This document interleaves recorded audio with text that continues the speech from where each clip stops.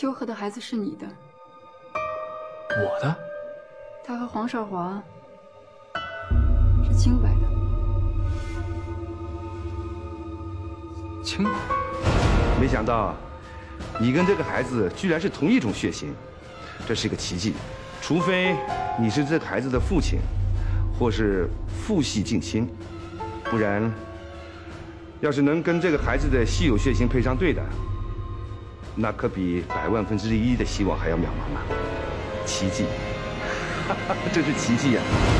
清白，清白的吗？少年，你会去找秋荷吗？我谁说我要去找他？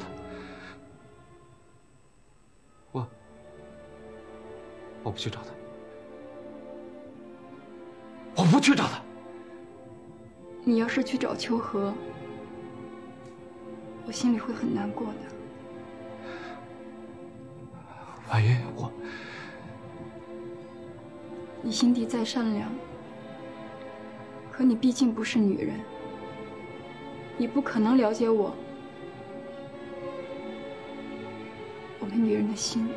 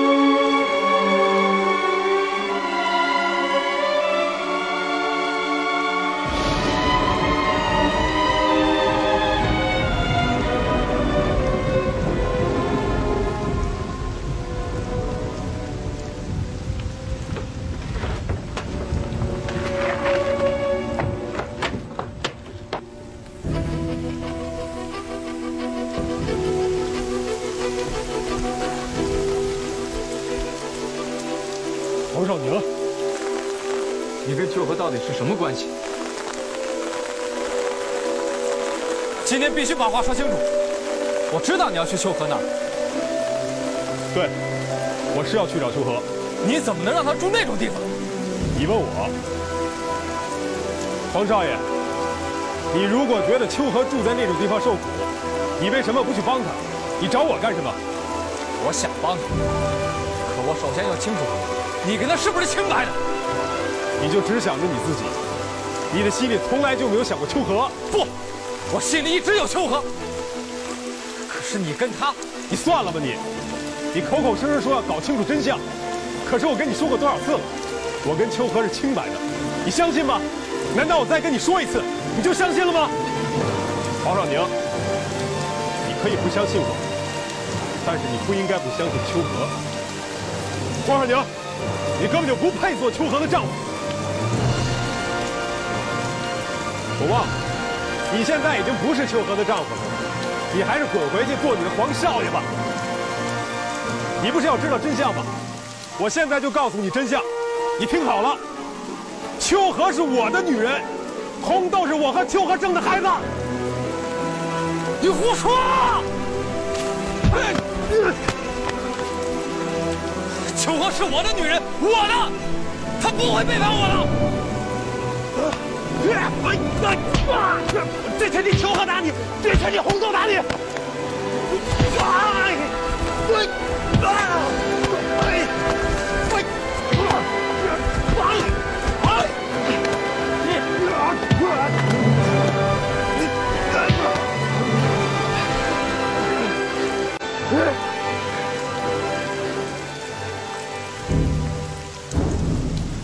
说过，如果你再干秋荷的死活、不负责任的事儿，我饶不了你。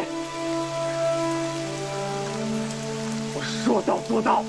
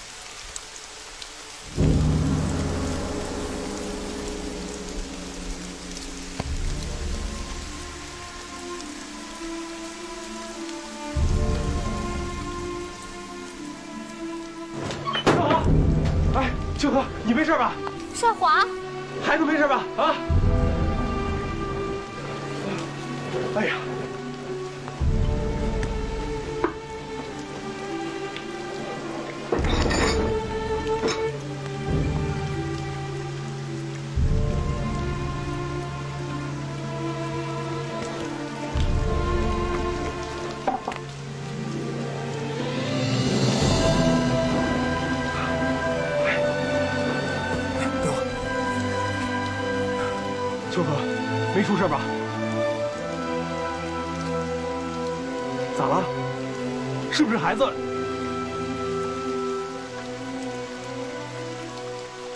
哎呀，你要急死我呀！说嘛，咋了？出事没有？没事，我和孩子都没事。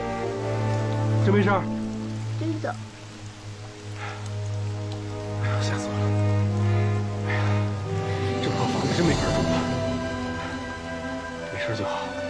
没事就好。少华，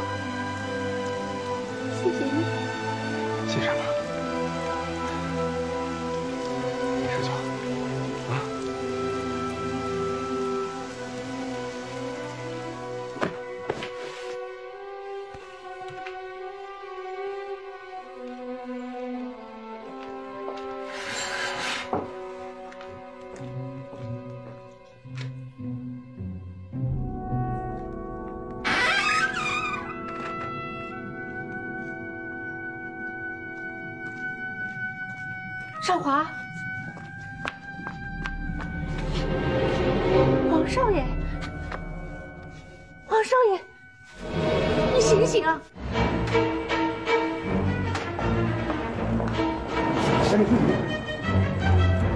医生，他是瑞盛祥的黄少爷。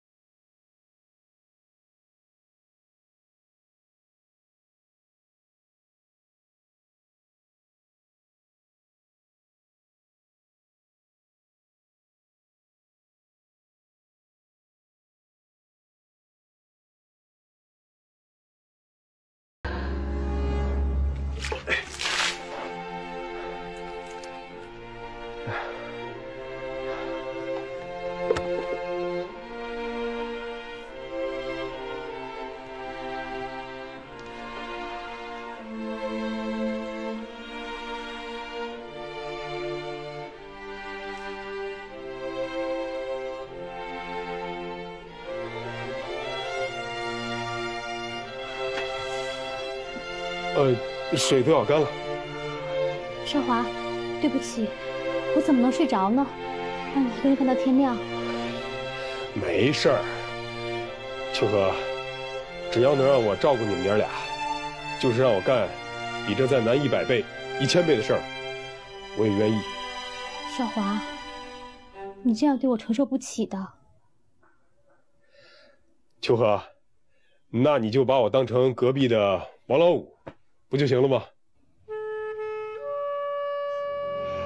呃，我把这些椅子、桌子都拿出去洗洗。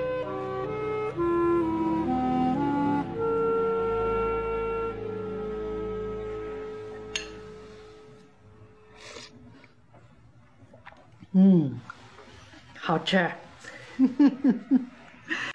哎呀，这样啊，真是个孝顺孩子。要是我的亲孙女儿该有多好啊！啊，燕儿虽然不是您的亲孙女儿，可是燕儿一直把您当成自己的亲奶奶。燕儿愿意一辈子在您身边照顾您。嗯，姑娘家呀，早晚都要嫁人的，奶奶怎么能把你拴在身边一辈子啊？我乐意嘛，我就是要陪着奶奶。哎呦，说什么傻话呀！女大不中留，留来留去啊，留成仇。告诉奶奶，你喜欢什么样的男人呢？哎呀，奶奶，你这让人家怎么说嘛？还害羞啦？男大当婚，女大当嫁。呃，告诉奶奶，奶奶一定给你找一个满意的。老夫人，我觉得陈掌柜不错。陈文海，陈掌柜年轻有为，德才都是上上之选。小姐要是跟了他，说不上是荣华富贵，可总能衣食无忧啊。现在他虽然是瑞生祥的掌柜，可他毕竟是外人。他要是跟小姐成了亲，那他就成了皇家自己人了，那还不得把他拴得牢牢的？再说了，陈掌柜仪表堂堂，也不委屈了亚小姐。嗯，呃，陈文海呀，的确不错啊。我才不要嫁给他呢！你，刚才问你要什么样的男人你不说，现在又看不上人家了？我就喜欢大哥。我就喜欢像大哥那样的男人。呃夫人，什么事儿啊？李子嫣来了，她说要见你。李子嫣，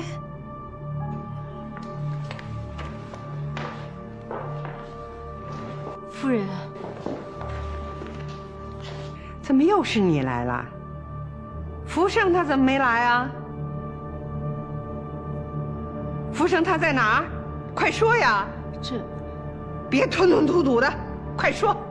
夫人，我今天不是为福生的事儿来的，我是为少宁来的。少宁，少宁他怎么了？快说呀！我大哥他怎么了？少宁他受伤了，正在医院里呢。什么？我大哥他受伤了？好端端的怎么会受伤呢？啊！你怎么会知道的？是不是你，夫人？您快别问了，还是去医院吧。哎呀，奶奶，别管他了，我们赶快去医院看看大哥吧。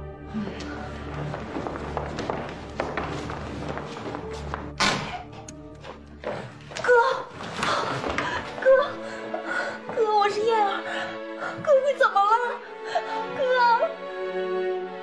少宁，少宁啊！你怎么变成这样了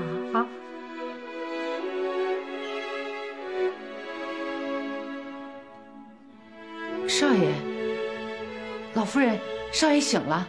啊，大哥，你醒了。少宁啊，你醒了。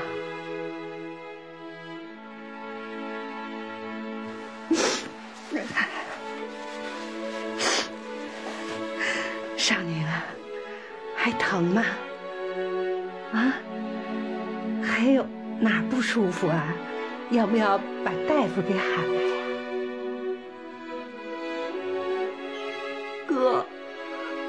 是谁把你伤成这样？到底是谁呀？你说话呀！说呀！燕儿啊，你哥刚醒，你就别急着让他说话了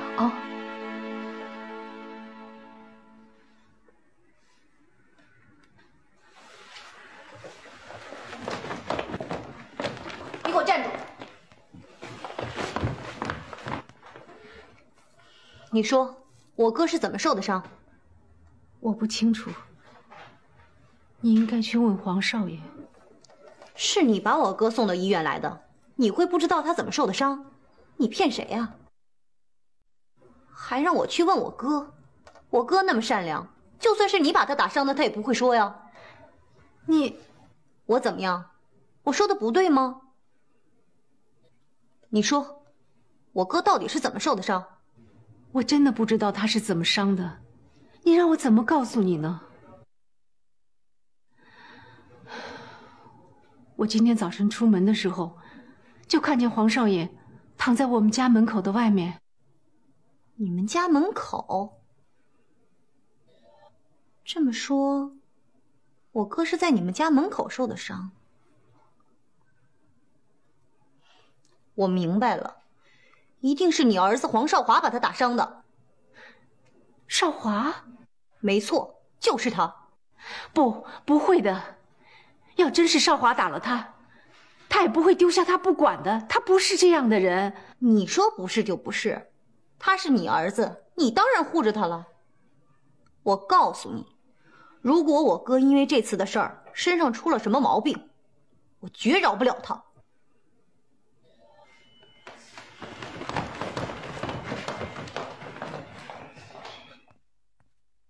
难道真是少华打了他？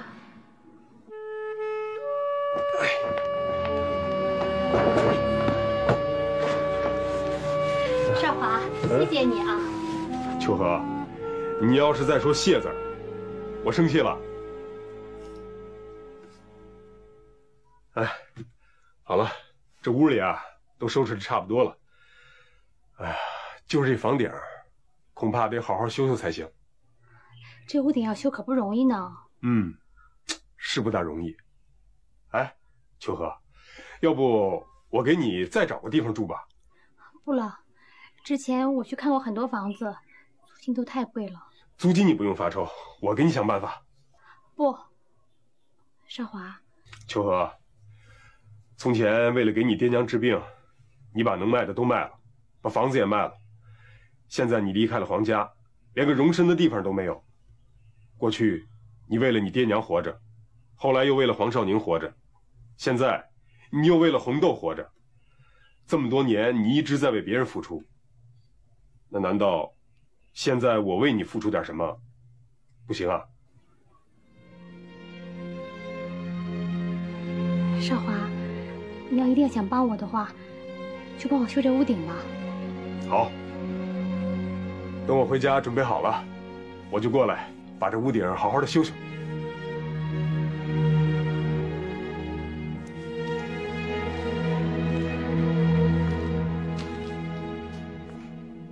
娘，我回来了。你昨天晚上去哪儿了？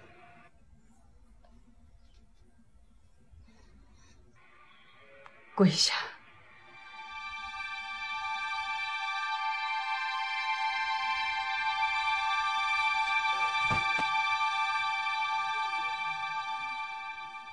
说，黄少宁是不是你给打伤的？快说，黄少宁是不是你给打伤的？是，是，他是我打的。你，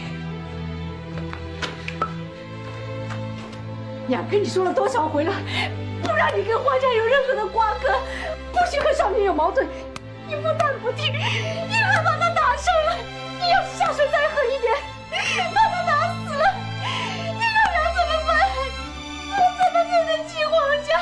娘怎么对得起皇家？怎么对得起你爹？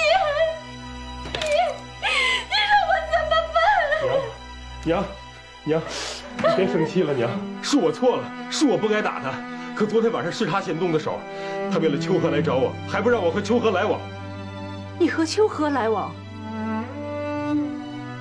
快说呀！你是不是瞒着我和秋荷来往？没，没有，没有。那少年为什么来找你？那谁知道他发什么神经病？再说了，就算是我真的和秋荷来往，那他也不敢拦着。秋荷现在不是黄家的人了。就算秋荷不是少宁的妻子，不是黄家的人了。可他生的孩子是呀，是黄家的人，是少宁的骨肉。咱们说红豆是黄家的骨肉，那黄家的人认红豆吗？黄少宁认红豆吗？那不讲理的黄老太太她认吗？不许骂黄老夫人。好好好，我不骂他，可我没说错他们家的人。黄家的人根本就不认红豆。秋荷现在不是黄家的人了，他们娘俩和黄家现在一点关系都没有了。秋荷自打进了黄家的门，就没过过一天安生的日子。可秋荷呢，对黄少宁还是一片痴心。可结果咋样呢？结果换来一张休书。那黄少宁抛妻弃子，不仁不义，他干的就不是一个男人该干的事儿。他简直就是混蛋，混蛋透顶。你别说了，你别这样说少宁，你误会他了。少宁对秋荷也是一片真心的，秋荷就是少宁救出来。要不是少宁，你身上的冤屈还不知道什么时候能够洗清呢。少宁，他也是有苦衷的，他也是不得已让秋荷离开黄家。也许秋荷暂时的离开黄家，对秋荷也是一件好事情。他要是真想对秋荷好，他就应该离开黄家，出来照顾秋荷。他还是舍不得黄家，舍不得他那个少爷身份。要是换了我，为了秋荷，我啥都能不要。你是不是看上秋荷了？快说，你是不是喜欢上秋荷了？对，娘，我喜欢秋荷，我喜欢她。要是秋荷愿意，我就娶她。你，你再说一遍。只要秋荷愿意，我就娶她。娘，娘，娘，娘，娘，答应娘，别再和秋荷有来往。为啥呀，娘？你别问，就是娘求你，你要帮秋荷，怎么帮都行。你把我们住的房子给他住，也可以。但是我们两个绝对不能在一起。娘。如果你还认我这个娘，就听娘的。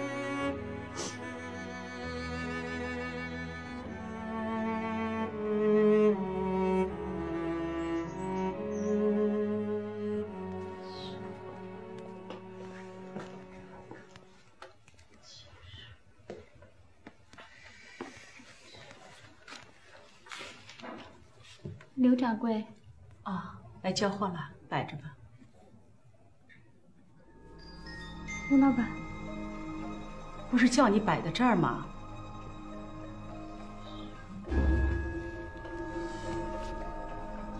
刘老板，对不起，我的这些绣品前两天下雨，全部都淋湿了。什么？全叫雨淋湿了？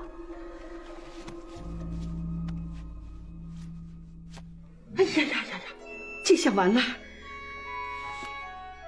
对不起，刘老板。你一声对不起就完事儿了？你知不知道王老板急着要绣品啊？你真是把我给气死了！回去重绣。对不起。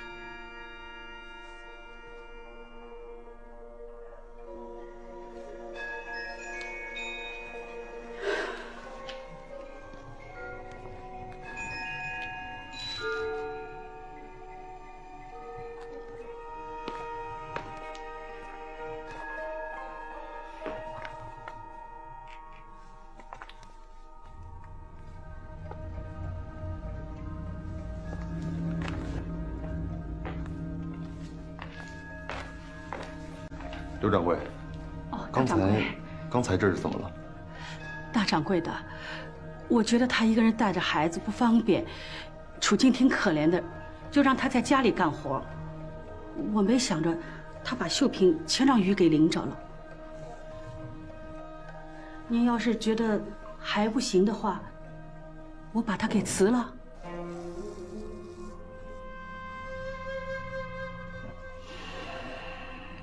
多好的绣品啊！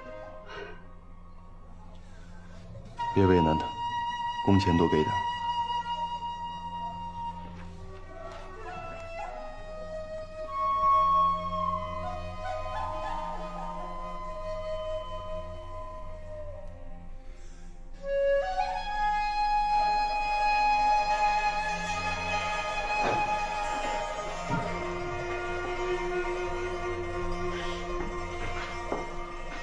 我们的陈掌柜思春了，这是谁家姑娘绣的呀？让我们的陈掌柜眼睛都看直了。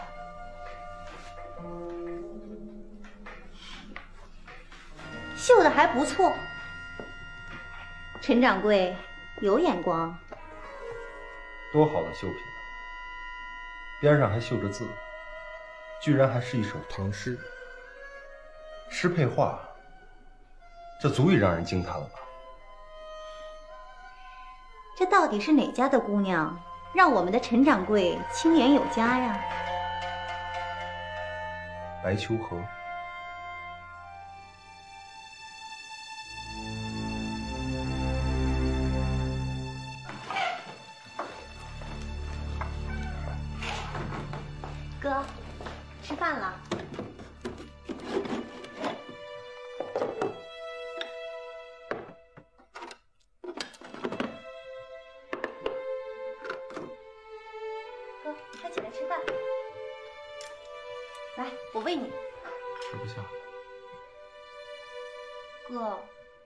我亲自特地下厨为你做的，你就吃一点吧，要不然的话我不是白忙活了吗？来，我喂你。我自己来。哎哎，你快躺着，快躺着！你都伤成这样了，怎么自己吃啊？来，我喂你吧。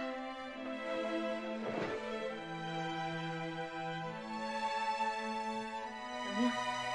吃吗？好吃你就多吃点儿。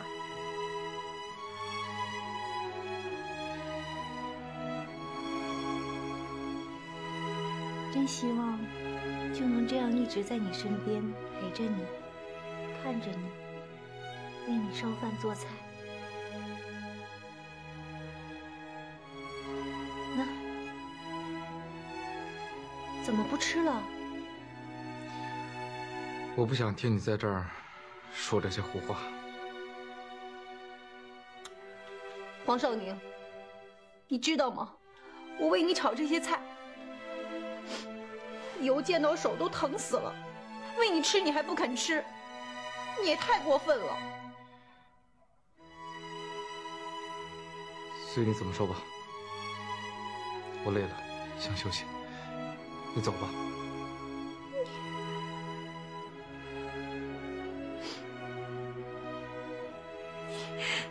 你怎么能这么对我呢？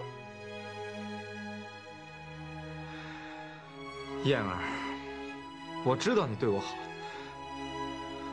可是我不想你越陷越深。我是没有办法接受你的。好了，我话说完了，走吧。王兆宁，我恨你，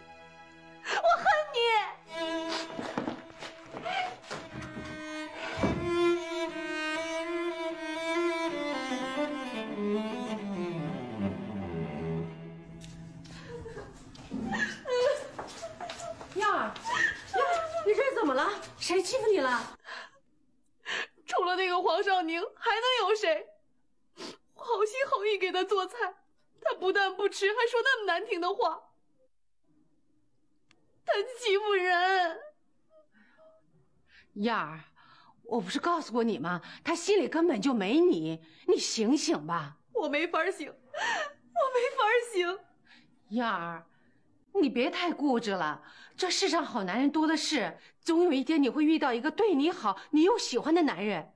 我不要，我只爱少宁，要嫁我也只想嫁给他。他已经有老婆了，我不管，就算是给他做小我也愿意。燕儿，燕儿，燕儿，燕儿。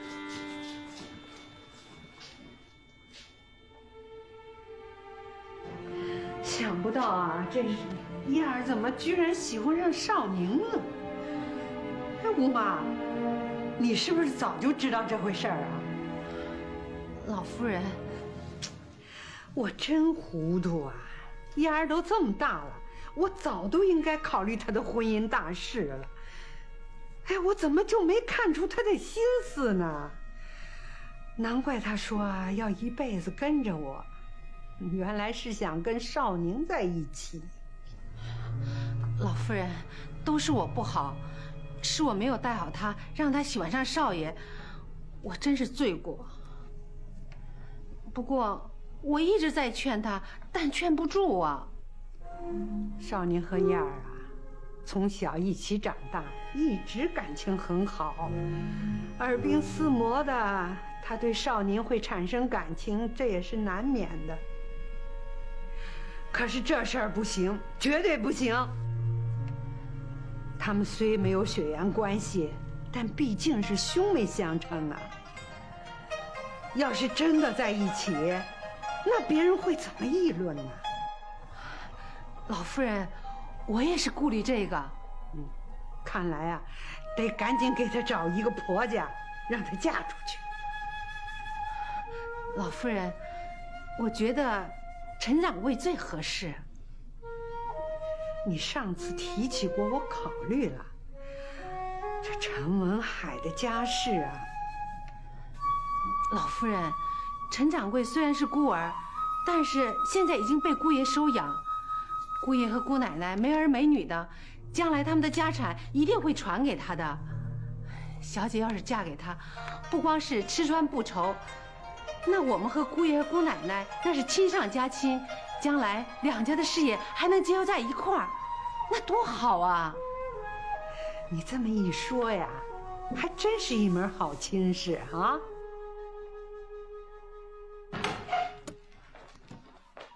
少爷，你喊我来啊，文海啊，最近。瑞盛祥的生意怎么样？啊，少爷放心，瑞盛祥的生意很好。啊，是啊，有你打理，我想不放心都难。少爷您过奖了。啊，来来，坐。哎，我叫你来，是有件事情想跟你商量。少爷请讲。这个，你觉得？燕儿怎么样？少爷何出此言？啊，你不用担心，我们只不过是随便聊聊。好，燕儿小姐，她挺好的。真心话。真心话。我想把燕儿许配给你。啊，少爷，不敢不敢，文海不敢。什么敢不敢的？燕儿又不会吃了你。不是，少爷，文海不是那个意思。我是一个下人，燕儿小姐，燕儿小姐是小姐，我配不上她。文海，燕儿呢是我的妹妹，我只有这一个妹妹，把她嫁给谁呢，我都不放心。只有你，只有嫁给你，我才放心啊。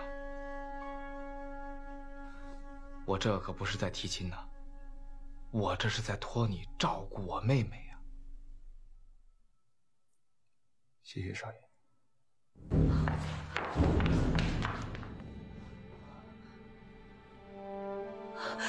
奶奶，我不要嫁，我不要嫁给他。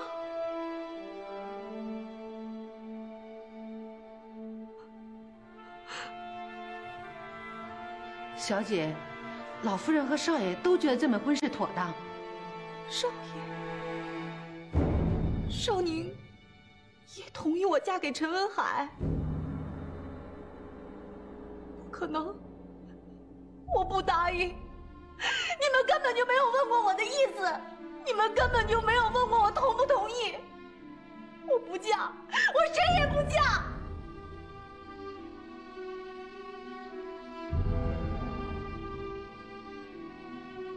小姐，燕儿小姐，我是真心的。这是什么？这也算是聘礼？就这点聘礼，你还想娶我？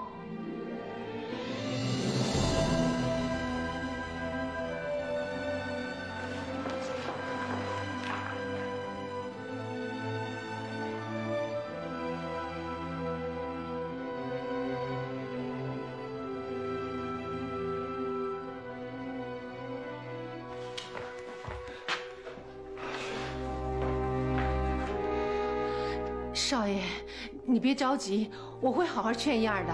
吴妈，你不用劝她，强扭的瓜不甜，我不需要她勉强嫁给我。少爷，你别生气，现在燕儿不懂事，妈妈会好的，你千万别怪她。吴妈，你误会我了，我没有怪燕子的意思。但是燕子，我非要不可。等我把黄家整个夺下来以后，自然就不用劝了。我要她心甘情愿的嫁给我。对了，我答应过秋荷要帮她修房子。哎呀，不能去啊！我娘不让我去啊！